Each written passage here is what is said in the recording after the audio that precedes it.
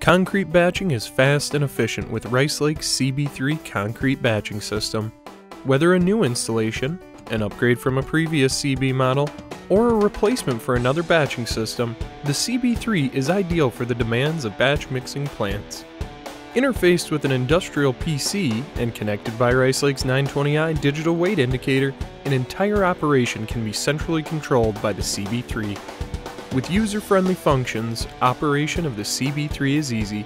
Simply select a truck to load with one of the pre-formulated mix codes, choose a batch amount, and make any modifications needed before loading. The CB3 status lights provide gate, conveyor, and tolerance information at a glance. The ability to work from multiple windows reduces downtime by allowing the operator to perform secondary actions while batching, such as queuing subsequent batches sending driving directions, or generating reports. Watch the batch's progress in real time as materials load into the truck.